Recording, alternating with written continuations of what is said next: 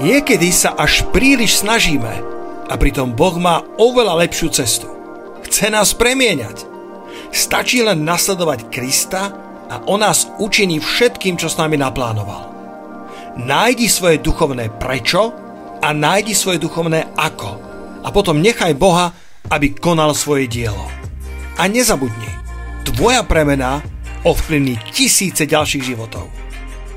Nech každý z vás si odnáša toto posolstvo, nech si každý z vás odnáša túto múdrosť, túto Božiu pravdu. Nestačí sa snažiť, nechaj sa premeniť. Mnohí sa, mnohí sa úpenlivo snažia a majú dobré srdce, majú dobré rozhodnutia, ale to nestačí, alebo to najlepšie snaženie ešte nemusí spôsobiť našu trvalú zmenu Nechaj sa premeniť. To je oveľa lepšie. Nechaj sa premeniť Duchom Božím. Nechaj sa premeniť Božím slovom, pretože Boh ťa dokáže učiniť všetkým, čo z teba potrebuje mať. Otvorte si Matúša 4. kapitolu, verš 19. Odtiaľ to by som začal. Matúš 4. kapitola, verš 19. pán, pán tu prichádza k učeníkom alebo k jednoduchým rybárom, tak si to dobre Jarka predpripravila, to, čo chcem dneska hovoriť, že ich našiel, ich našiel niekde pri ich biznise, pri ich podnikaní, ako prali svoje siete, ako sa starali o svoje rybárske člny. A zrazu, ako išiel okolo nich, tak im povedal, poďte za mnou a ja vás učiním rybármi ľudí poďte za mnou, nasledujte ma a ja vás učiním rybármi ľudí. Našou úlohou je ísť za ním. Jeho úlohou je, aby nás učinil, čímkoľvek nás chce mať. Našou úlohou je nasledovať majstra, nasledovať spasiteľa. A čokoľvek od nás bude chcieť, aby sme sa stali, je pripravený nás tým učiniť. Boh ťa učiní všetkým, čo z teba potrebuje mať, len ho. Peter s Andrejom boli jednoduchí rybári a nie evangelisti. Neboli apoštoli od narodenia. A Ježiš hovorí, nože poďte za mnou a ja vás učiním rybármi ľudí. Ja vám dám zručnosti, ja vás vyformujem do osobnosti, o ktorej ste netušili, že je vo vás, pretože ja som videl vo vás potenciál, ktorý vy sami vo sebe nevidíte. Kto, koľko z vás veríte, že Boh v nás vidí veci, ktoré sami v sebe nevidíme? Keď som sa obrátil a začal som svedčiť svojim priateľom, tak oni boli tak šokovaní, že povedali, z teba raz bude farár. boh niekedy použije aj ústa neveriacich ľudí, aby k nám prehovoril. A Boh vo mne videl veci, o ktorých som netušil, že vo mne existujú. Nože poďte za mnou. Nože ma nasledujte a ja vás učiním. Ja z vás urobím všetko, čo potrebujem, aby ste boli. Len ma nasledujte.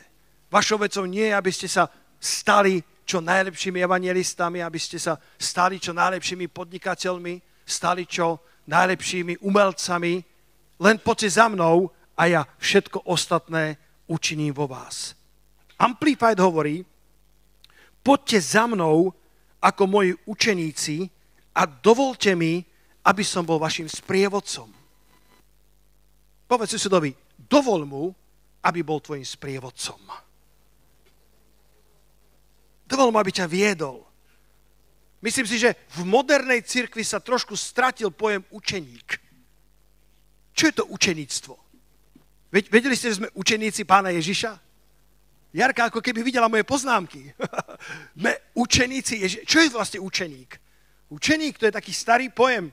A to bolo, že si mal svojho majstra, ktorý, ktorý ťa učil zručnostiam, ktoré mal on. Bol skúsený, bol, bol, bol šikovný, bol múdry, bol vzdelaný a, a ty si nasledoval svojho majstra. Ty si nespustil oči z neho. Dokonca hovoria teológovia, že dôvod, alebo jeden z hlavných dôvodov, prečo máme toľko výrokov Ježiša Krista zapísaných v Biblii, je tzv. dokument Q. Počul niekto?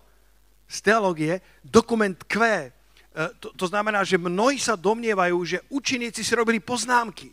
na svojich iPadoch, na svojich iPhonech alebo na svojich notesoch, pretože to bol zvyk, keď si mal svojho majstra, keď si mal svojho učiteľa, tak si mu vysel na perách a písali si všetky jeho výroky a z toho sa mnohí teológovia domnievajú, nenašiel sa ten dokument Q, ale domnievajú sa, že učeníci ho mali a preto dokázali potom zapisovať výroky Ježiša Krista celkom presne.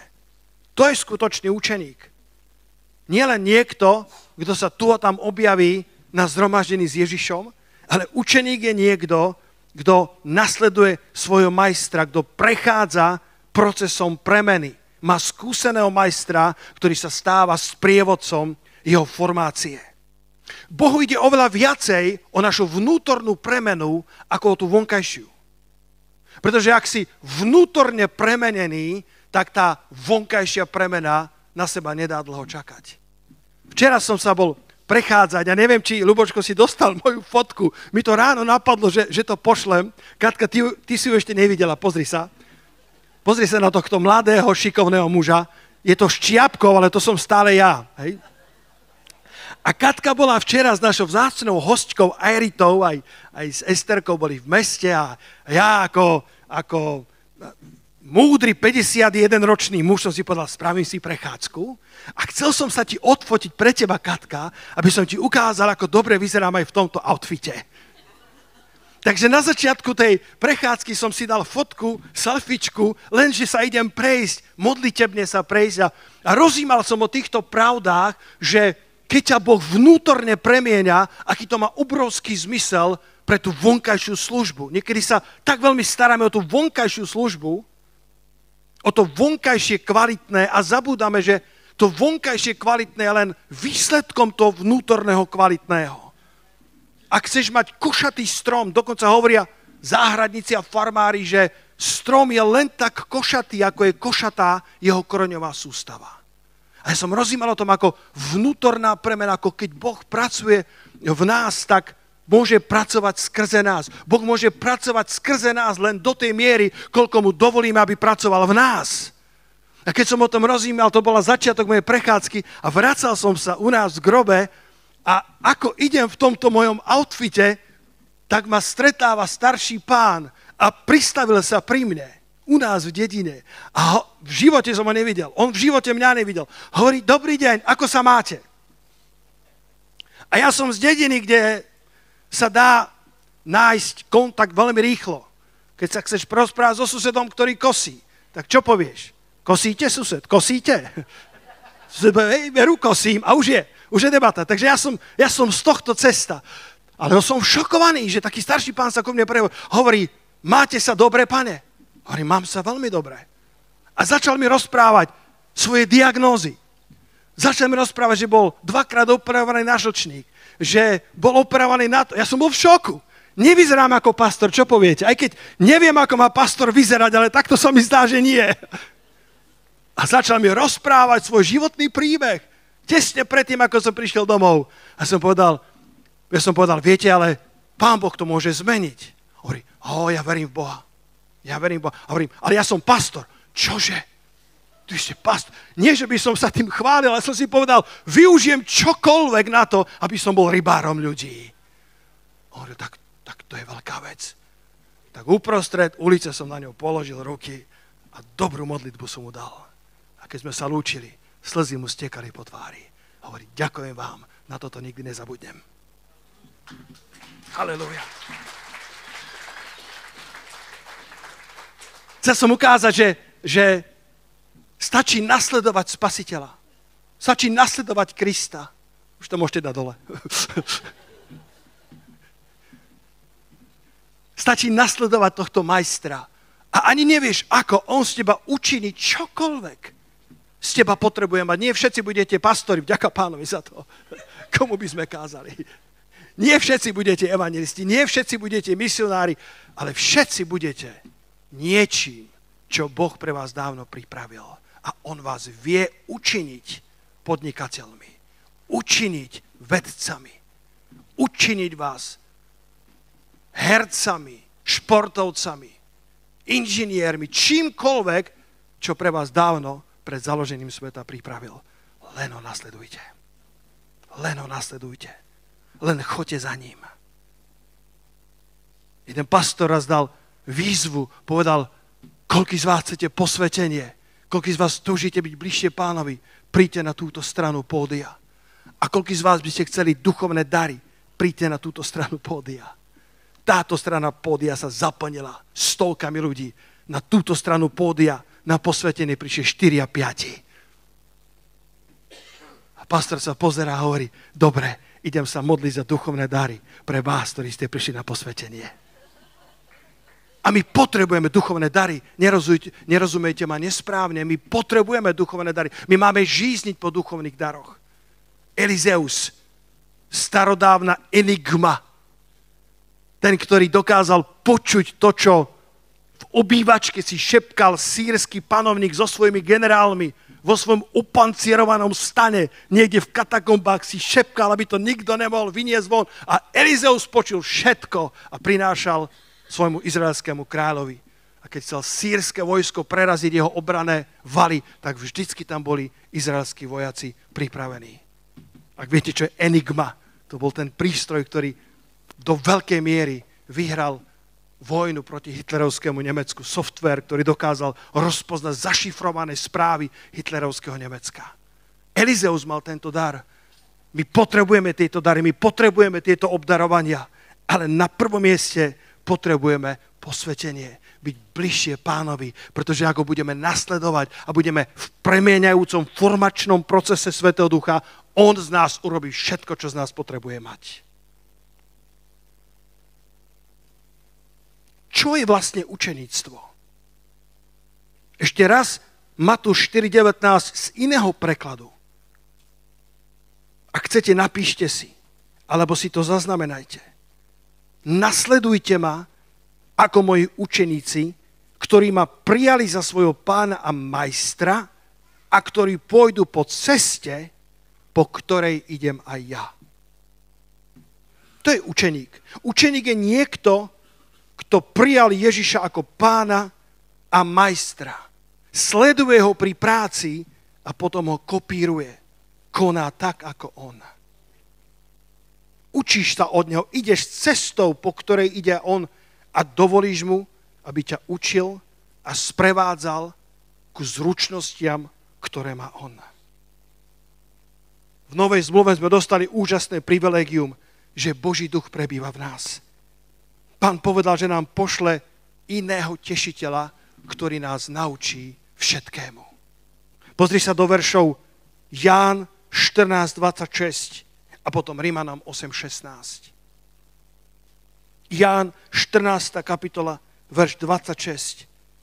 Náš pán hovorí, že nám pošle iného tešiteľa, Svetého Ducha. Ale ten tešiteľ, Svetý Duch, ktorého pošle Otec v mojom mene, ten vás naučí všetkému a pripomenie vám všetko, čo som vám povedal. Máme to privilegium, že máme Svetého Ducha, toho tešiteľa, toho pomocníka, toho parakléta. Po grécky to slovo tešiteľ je paraklétos. Má si sedem významov. Jeden z nich je tešiteľ, druhý je pomocník, radca, ten, ktorý ťa vedie, ten, ktorý je tvoj advokát, ten, ktorý ťa obhajuje, ten, ktorý stojí po tvojom boku, keď si sám.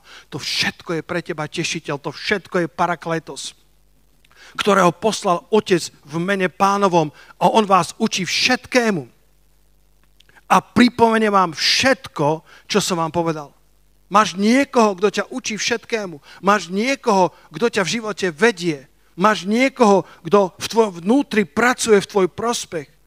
Naučí vás všetkému. Naučí ťa, ako podnikať. Naučí ťa, ako budovať vzťahy. Naučí ťa, dá ti varovania v živote. Dá ti červené signálky, keď do niečoho nemáš vojsť. Koľko z vás to zažili v živote, že niekedy ste dostali červenú signálku a, a, a, a vedeli ste, že tam nemáte ísť, alebo naopak, dostali ste zelenú signálku, aby ste do niečoho vošli. Mne sa to stalo, ja som to spomínal, myslím, v decembri 22. Bol som, bol som meniť eh, kolesa, ja mením kolesa už 30 rokov a viem, čo to obnáša. Mám teraz nového majstra, sme sa skamarátili, dostal moju knihu Narod sa znova. Už mu vytrhla z rúk jeho rodina. Už číta rodina, že už, už mi to zobrali. Švagrina teda číta.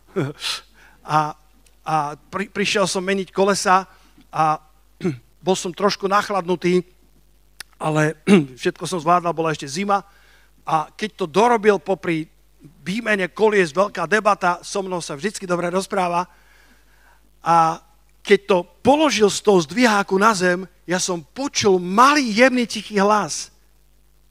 Opýtaj sa, či priskrutkoval skrutky. Akože povedz automechanikovi, či nezabudol priskrutkovať skrutky a urazí sa, lebo nič iné nerobí celý život, len mení kolesa. On to robí, on to robí 30 rokov. A som povedal, tak to bude trapné, to, to ja nebudem zahambovať samého seba, zahambovať automechanika. A druhýkrát som počul, opýtaj sa, či priskrutkoval skrutky. A neurobil som to. Vycúval auto hore kopcom, všetko držalo dobre. Sadol som do auta, po 500 metroch som si myslel, že sa prepadla podlaha podo mnou. Skrutky na celú dedinu porozlietali. Pol hodinu sme ich hľadali. Nebolo to priskrutkované. Auto zastalo, spadlo ako keby na tie osy, tie kolesa tam ešte ako tak boli. Volá mu, samozrejme mal obsadené. A potom hneď by volá späť, hovorí, vedel som, keď vy voláte, že zlé. Utekal za mnou. Činil pokánie. Ospravedlňoval sa. Trvala nám to asi hodinu a pol, alebo až dve keď sme našli všetky skrutky, kým to dal do poriadku. A ja som si povedal, o čo lepšie poslúchať pána.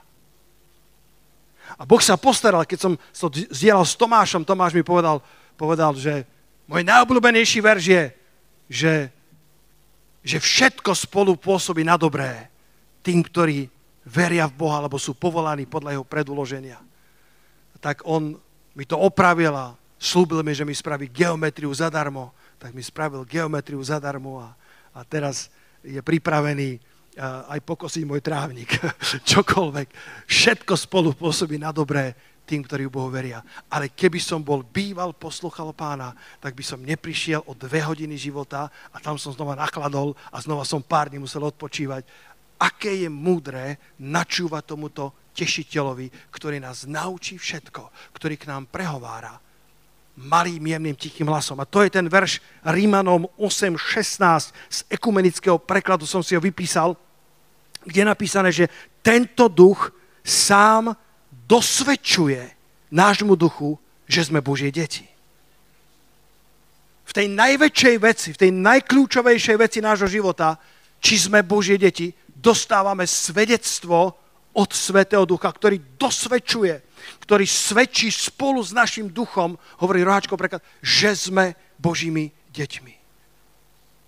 Potrebujeme kultivovať svoj vnútorný život. Rozvíjať ten vnútorný život s pánom, pretože ten, ten, ten, to Božie vedenie v tebe ťa môže ušetriť od toľkých zbytočných trápení a naopak voviesť ťa do toľkých dobrých rozhodnutí života. Len načúvaj Svetému Duchu, ktorý v tebe prebýva. Nasleduj Krista. Povedz susedovi s pozbudeným, nasleduj Krista ako učeník. Nasleduj Krista ako učeník. Uč sa od Neho. Uč sa od Neho. Sleduj ho pri práci. Sleduj ho pri práci. Halelúja. Sleduj ho pri, pri tom, ako, ako, ako pôsobí. Častokrát, keď skončí nedela, tak som ešte pred pánom a rozímam o všetkom, čo sa dialo a, a a spomínam si na všetko, čo pán konal a, a, a rozímam, kde som bol vedený Svetým duchom, kde som videl jeho ruku, kde som videl jeho pôsobenie, kde som mohol lepšie naskočiť na vlnu Svetého Ducha. Pretože, bratia a sestry, so všetkými skúsenosťami, ktoré mám, ja som absolútne nehodný učeník, ak by neprišla jeho milosť na mňa, ak by neprišla jeho priazeň, ak by nebolo jeho pomazanie v tejto cirkvi. Táto církev nemá žiadny patent na pomazanie. Patent na pomazanie má Svetý Duch, len on je autorom. On je autorom eh, našej viery. On je ten, ktorý pôsobí prebudenie. On je ten Boh, ktorý dáva žatvu. On je autorom žatvy. Povedz halleluja na to. My ho potrebujeme na každý deň. Poďme dať potles pánovi. My ho potrebujeme na každý deň, na každé rozhodnutie, aby sme neminuli cestu života, ktorú pre nás pripravila. Na to nám dal tešiteľa vám, ktorí ste online, dal vám tešiteľa Svetého Ducha. Možno nie vždycky sa dostanete ku mne na telefonát. Možno nie vždycky vám dokážem odpovedať na vaše WhatsAppy do 24 hodín. Ale Svetý Duch vám dokáže odpovedať na všetko a naučí vás všetkému a dosvedčí vám veci, ktoré potrebujete ku životu a ku pobožnosti. On dosvedčuje nášmu duchu. Ten malý, jemný, tichý hlas Priskrutkoval si skrutky? Pán automechanik, keby som bol býval, poslúchol, koľko starostí by som si ušetril. A to je malá drobnosť života, ale koľkokrát sa môžeme zbaviť zbytočných trápení vo väčších veciach, ak budeme počúvať na dosvedčenie, svedectvo Svetého Ducha.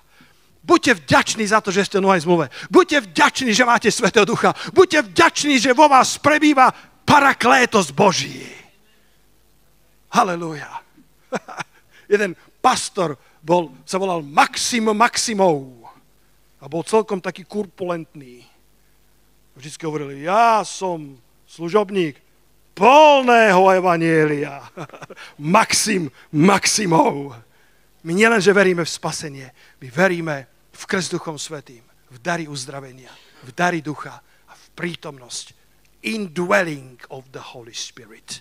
V prebývanie Svetého Ducha v každom jednom veriacom. Haleluja. Keď sa nedostaneš ku pastorovi, vždy sa dostaneš k Svetému Duchu. 1. Mojžišova 12, ešte maličkú chvíľočku, to znamená pol hodinu, alebo 20 minút. 1. Mojžišova 12, Začali sme Matúšom 4.19, kde hovorí, že nasledujte ma a ja vás učiním. Naša úloha je nasledovať Krista. Jeho je učiniť, sformovať, vytvoriť, urobiť z nás evangelistov, podnikateľov, matky, otcov. Niečo, čo si možno nemyslíme, že v sebe máme. A tu čítame podobné slova, alebo podobný slovník, podobná rétorika, ktorú Boh používa ku Abrahamovi. Od prvého verša. A hospodin riekol Abramovi, výjdi zo svojej zeme a zo svojho príbuzenstva i z domu svojho otca do zeme, ktorú ti ukážem. Viete, kde žil Abraham? Abraham žil v Úre chaldejskom. Luxusné mesto, New York tej doby. Podľa archeologických vykopávok našli kanalizáciu 3000 rokov pred Kristom. Bolo to jedno z centrálnych miest, luxusné mesto, mali vzdelanie na vysokej úrovni. Ale Boh mu hovorí, vyjdi z tejto zeme, pretože Úr sa prekladá ako, ako mesto mesiaca. Oni naozaj uctievali mesiac, uctievali rôzne božstva a Boh mu hovorí, vyjdi z tejto zeme, vyjdi z tohto modlárstva do zeme, ktorú ti ukážem. A verš 2. A učiním ťa veľkým národom, a požehnám ťa a zvelebím tvoje meno a budeš požehnaním. Podobne ako hovoril k učeníkom, poďte za mnou a ja vás učiním, rybármi ľudí. To hovorí, vyjdi zo svojho príbuzenstva, zo svojej zeme, z toho modlárstva a ja ťa učiním veľkým národom. A moja otázka je, čo potrebuješ zanechať ty? Z čoho potrebuješ výjsť von?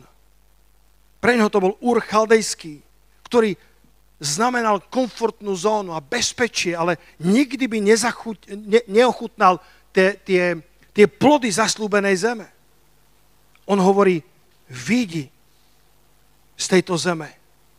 Zanechaj svoju komfortnú zónu. Zanechaj, teraz mi dovolte prekladať úr podľa mojich amplifát verzií. Zanechaj lenivosť. Kto povie haleluja? Zanechaj prázdne veci, ktoré ti kradnú čas. Máte tie apky, ktoré vám píšu, koľko času ste strávili na mobile? Niekedy vám pošle správu? Koľko z vás to niekedy vydesí? Keď, keď čítaš, koľko času si strávil na sociálnych sieťach, na YouTube, koľko času si strávil na veciach, ktoré nemusia byť zlé sami o sebe, ale možno, že sú to jalové chvíle, prázdne chvíle.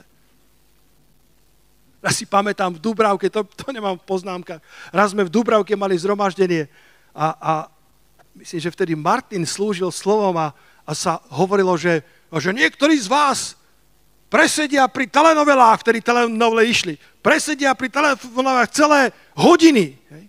A bola tam jedna sestra, všetky tváre išli takto na ňu. A tie, tie telenovely, to, to nie je dobré. Akože sa volajú? Bolo ticho v sále, nikto zakšel, divoký aniel! Všetci dostali zjavenie, že to asi nie je úplne na pozeranie. Toľko vecí, ktoré nám možno kradnú čas. A Boh hovorí, výjdi z tej zeme, ktorá ti kradne čas. Výjdi z toho neefektívneho a vojdi do zeme, ktorú ti len ukážem. Zanechaj svoj hriech. Keď zrešil Peter, dajte na obrazovku Matúš 26, verš 75. Každý z nás môžeme zrešiť, každý z nás môže zlyhať. Len neostaň bezmocne ležať, porazený pred nepriateľom.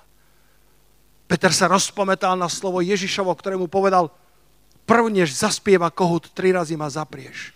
A výjduc von, výjduc von, výjduc von. Tak ako Abraham vidí von z tejto modlárskej zeme a ja ti ukážem zaslúbenú zem. A výduc von plakal horko. Nezostan ležať vo svojej kaluži. Nezostan ležať vo svojom zlyhaní. Vidí von zo svojho úru chaldejského, keď ťa Boh volá. Keď ťa Boh volá niečo zanechať, dáva ti k tomu potrebnú milosť. Keď ťa Boh volá z niečo výjsť, dáva ti k tomu potrebnú milosť. Počúval som nedávno Krega Grešela, ktorý hovorí o tom, ako, ako zlomiť návyky, ktoré nie sú dobré v našom živote. Máte nejaké železné košele, ktoré nie sú OK? Koľko sa priznajú? Keď tak rozmýšľa, že niečo by si chcel zmeniť, ale ako som povedal v názve tohto posolstva, nestačí sa snažiť, nechaj sa premeniť. A Craig Gershel hovorí, že na skutočnú premenu budeš potrebovať správne duchovné prečo a správne duchovné ako. Lebo ak to má byť skutočná premena, musí to byť duchovná premena. Musíš mať správny motív. Ja keď som bol mladý, Katka, ty, ty to musíš priznať, ja som bol veľmi tenký muž som dal pred dvoma rokmi na Instagram nejakú starú fotku našu, keď sme boli, keď sme boli v tom, tých adržbašských skalách a tam Katka vyzerá nádherne. Ja som skoro prehliadnutelný na tej fotke, taký som bol, keď by zafúkalo, tak ma nevidíš.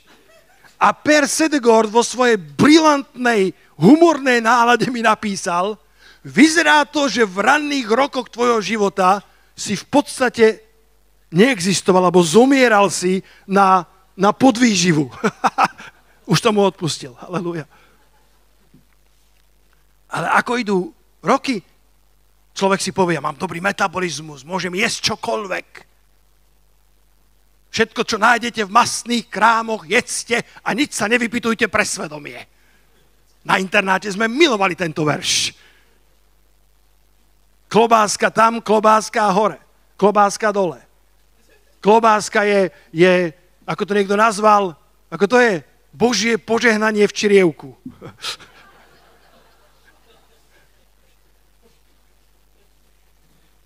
A potom, a potom ideš na nejakú zdravotnú kontrolu a, a, a keď už len čítaš o tom, že akú by si mal váhu, nieko, niekto sa o to zaujímal niekedy? Dobre, asi som vás stratil v tejto chvíli. Tak zistuje, že asi by sa bolo treba nejaké úpravy spraviť, ale veď veď všetko funguje dobre, veď všetko ide tak, ako má ísť.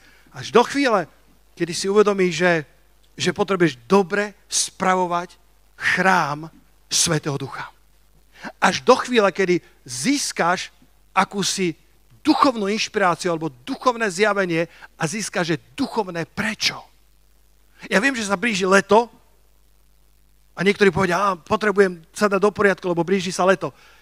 To je slabá inšpirácia, priatelia. Skutočná inšpirácia, ktorú mám teraz ja, Katka, vo svojom srdci, už som to aj pani našej vzácnej doktorke rozprával, moja hlavná inšpirácia, prečo sa snažím oveľa lepšie stravovať správať sa k svojmu telu, chodiť na prechádzky, je tá, že chcem Bohu slúžiť ešte mnoho rokov, zdravo, kvalitne, až dokonca dobehnúť Boží beh. To je moja inšpirácia, pretože ešte ma to budete vidieť aspoň 40 rokov. Halelúja. Nechcem dobre začať a potom zle skončiť. Nechcem sa rozbehnúť dobre a zlyhať len kvôli tomu, že som, že som nespravoval dobre svoje vlastné telo, pretože toto telo ma ešte potrebuje doniesť do mnohých krajín sveta.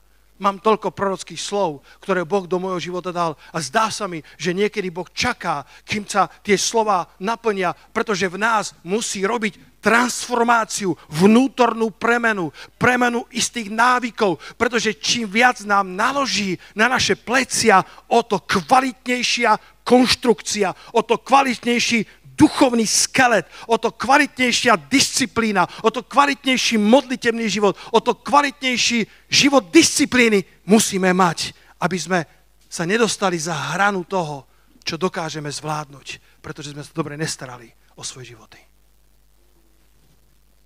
Môžete prijať tieto, tieto pravdivé slova od vášho pastora. Duchovné prečo? A potom duchovné ako?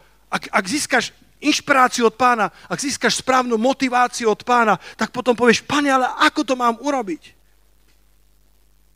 Duchovné ako na to je prostredníctvom slova a pôsobením jeho svetého ducha.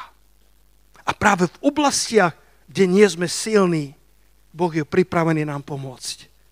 2. Korintianom 12.9, nádherný verš, prečítam len čas z neho, ale on mi povedal, stačí ti moja milosť. Lebo moja sila sa dokonale prejavuje v tvojej slabosti. Halelúja! Stačí ti moja milosť, lebo moja sila sa dokonale prejavuje v tvojej slabosti. Náš úr nám môže poskytovať bezpečie a komfort, ktorý nechceme tak ľahko opustiť. Boh však povoláva Abrahama von z neho aby ho mohol voviesť do lepšej zeme.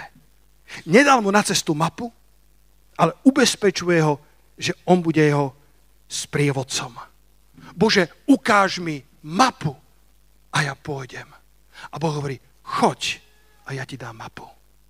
Hovorí, Bože, ukáž mi cestu, ukáž mi, kde je tá zem a ja ťa posluchnem. A Boh hovorí, nie, nie, nie, posluchni ma a ja ťa povediem do zeme zaslúbenej.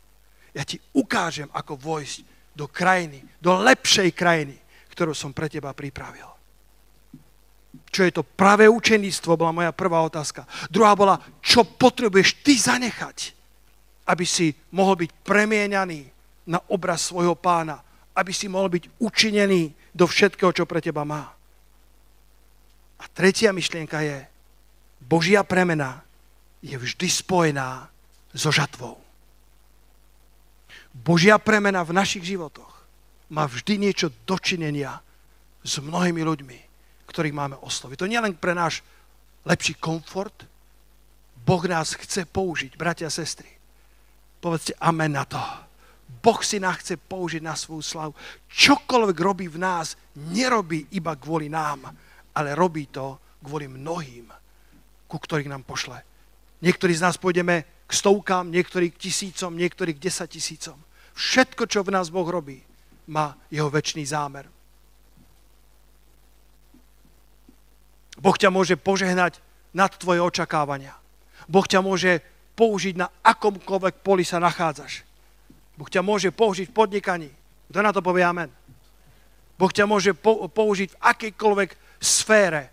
Boh ťa môže pozdvihnúť do, Boh ťa môže dostať na dosky, na ktoré by si sa nikdy nedostal bez protekcie. Ale môžete tam dostať skrze svoju milosť. Ale nikdy nezabudni, že keď ťa Boh povýši, vždy je to spojené so zámerom kráľovstva. Kedy si som, myslím, že v decembri to bolo roku 22, som sa dostal ku, ku rozhovoru s trénerom NBA Celtics, basketbalový tréner, si volá Joy Joe Mazzola, alebo nejako tak. A videl niekto ten rozhovor s ním, kedy sa ho pýta moderátorka, že že na vašom zápase bola kráľovská rodina. Vedeli ste to? A tento tréner sa na ňu pozrel oči ako taniere a hovorí, myslíte Ježiša, Máriu a Jozefa? To je úplne virálne video, musíte si ho pozrieť.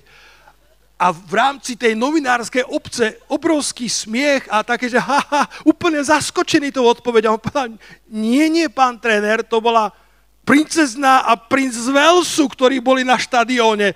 Ich ste stretli? A on hovorí, o nie, nie, ich som nestretol, ich nepoznám. Poznám iba jednu kráľovskú rodinu. A potom povedal, ak sú nie ďalšie otázky, ďakujem za rozhovor a odišiel. To je virálne video, nádherné. On sa priznal k svojej viere a povedal jednu rodinu kráľovskú, naozaj poznám. Máriu, Jozefa a Ježiša. Ale princa, princezu z Velsu, ako ich ctím, tak ich ctím, ale tých nepoznám. Ale jednu rodinu poznám. Koľký z vás sa priznáte k rodine kráľovskej vo svojom povýšení od hospodina? Ak vás dostane medzi podnikateľov, ak vás dostane medzi vysoko postavených, ak vás dostane dostane na dosky, na ktoré sa nedá dostať inak. Nože sa priznajte, že poznáte tú jednu kráľovskú rodinu. Dajte im pocítiť, že stretli muža alebo ženu, v ktorých prebýva Svetý Duch. Kráľovské céry a kráľovských synov. Jozef by vám rozumel na záver. Keď Boh dal Jozefovi sen, videl v ňom pole a snopy, ktoré sa mu kláňali. Nikdy som to tak nevidel, ale myslím si, že aj toto môže symbolizovať žatvu. Sny, ktoré nám Boh dáva, sú spojené so žatvou. Jozefovo poslanie nebolo zďaleka len o ňom, ale o záchrane národov. Všetko, čo Boh robí v našich životoch, má väčší zámer. Jozef musel prejsť z mnohé súženia, ale nestratil pohľad zo svojho stvoriteľa. Žalm 105, verš 18. Čítame, zovreli jeho nohy putami a jeho duša sa dostala do železa. V putách nebolo iba jeho telo, ale jeho duša sa dostala do železa.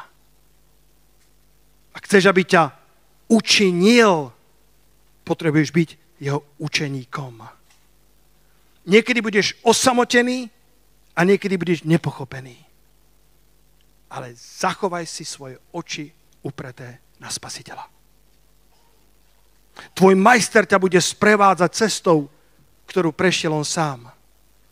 Ježiš povedal svojim učeníkom, ako mňa prenasledovali, tak aj vás budú prenasledovať.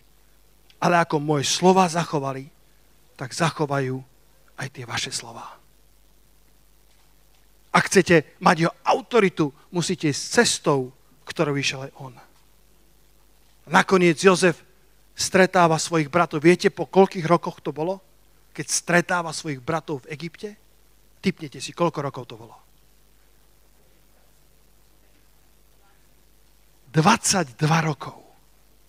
Pretože mal 17 rokov, keď bol predaný do otroctva a mal 30 rokov, keď nastúpil na trón ako druhý po faraónovi. A jeho bratia prišli v druhom roku tých 7 rokov ktorí boli rokami chudoby a, a nedostatku.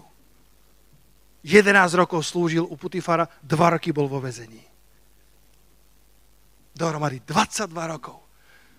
A už dávno zabudol, že, že, že mu urobili krivdu. Už dávno nepamätal na to, čo sa stalo. Bol povýšený od hospodina.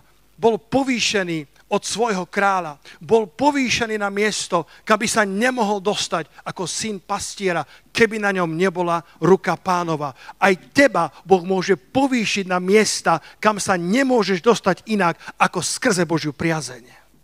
Jozef sa dostal na miesto, ktoré bolo rezervované pre ďaleko bohatších, ďaleko vplyvnejších ľudí, ktorí mali oveľa lepší rodokmeň ako Jozef, ale keď bola na ňom ruka pánova, dostal sa na to miesto, ktoré pravdepodobne mali zaplatené mnohí iní. Halelúja. Bratia a sestry, počúvajte toto. Ľudia z vás môžu strhať pestrofarebné rúcho, ale nemôžu vás, z vás strhať Božiu priazeň. Ľudia z vás môžu strhať rúcho Božej priazne, môžu z vás strhať e, na cimpr campr, vás môžu roznášať na sociálnych sieťach, môžu hovoriť o vás, šepkať o vás, ale kto dokáže zbaviť našich životov Božej priazne? Halelúja! Oni z neho strhali to rúcho, ale nedokázali z neho strhať Božiu priazeň po 22 rokoch, v druhom roku obrovského súženia prichádzajú jeho bratia a v 42. 42. kapitole Genesis, to je posledný verš dnešného rána, 1. Mojžišovej 42, verše 8 a 9. Čítame, že Jozef spoznal svojich bratov, ale oni ho nespoznali. Prešlo 22 rokov. Už viac nespoznali svojho brata, ktorý bol pravdepodobne odetý, alebo isto odetý ako egyptian. Ale on ich spoznal. On ich spoznal. Prešlo 22 rokov. Nenechaj sa oklamať časovým faktorom. Aj keď to trvá dlhšie, ako si si myslel, Boh pracuje za oponou. A keď Jozef uvidel tú scenériu, ako bratia kľačali pred ním, ako tie snopy, ktoré sa mu kláňali, verš 9 hovorí, vtedy sa Jozef rozpamätal na sny, ktoré mal kedysi o nich. Vtedy Jozef sa rozpamätal na poslanie, ktoré Boh s ním dávno pripravoval. Nerozpomenul sa na krivdu, ale rozpomenul sa na sny. Keď ich uvidel, neskypela v ňom žlč, ale rozpamätal sa, že môj Boh je verný Boh.